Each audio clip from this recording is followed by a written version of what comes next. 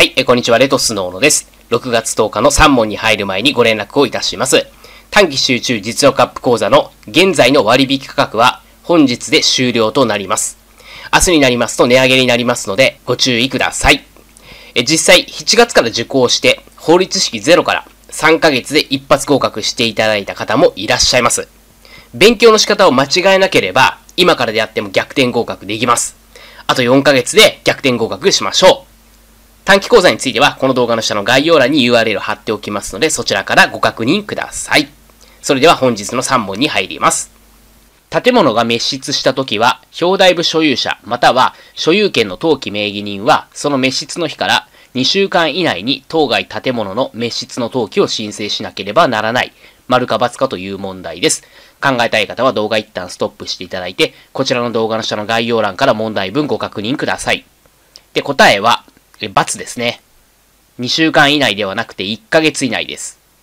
建物が滅失した場合、あと建物の注目が変更した場合とか、あとマンション以外の表題登記がない建物の所有権を取得した場合とか、その日から1ヶ月以内に登記しないといけないんですね。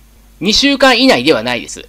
で、建物の滅失の場合っていうのは、建物の滅失の登記。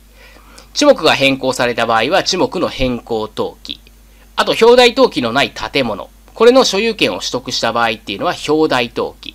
まあ、これらを1ヶ月以内に行ってくださいよっていう話ですね。これら全て頭に入れておきましょう。で、上記っていうのは申請時期が1ヶ月以内って定められているんですが、定められていないものもあるんですね。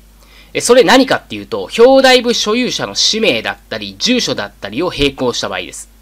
つまり、氏名や住所の変更登記っていうのは申請時期が定められていないので、変更登記自体、絶対にやらなければいけないっていうわけではないってことなんですね。義務ではない。任意だということです。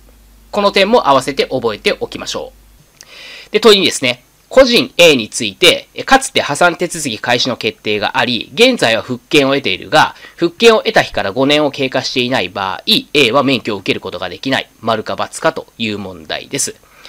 これ答え×ですね。復権を得た日から5年経過していなくても免許を受けることできます。だからバスです。復権を得れば、直ちに免許を受けることができます。復権を得ていなければ免許を受けることができません。で、これっていうのは、復権っていうこの漢字見たらすごくわかりやすいんですよ。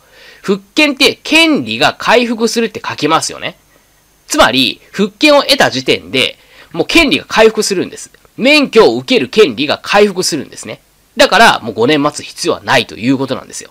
言葉の意味が分かれば、覚えるまでもない問題なんですよね。だから私自身も別にこれ覚えているというよりも、復権って権利もうね、回復してるから、いつでも免許を受けれるじゃないのっていう形でもう答えを導いちゃってるんですよ。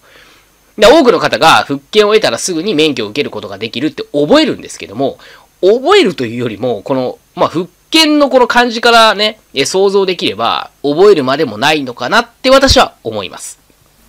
で、問い3です。